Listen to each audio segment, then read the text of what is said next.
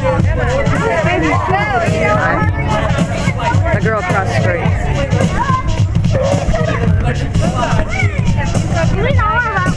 Did you give Jazz one?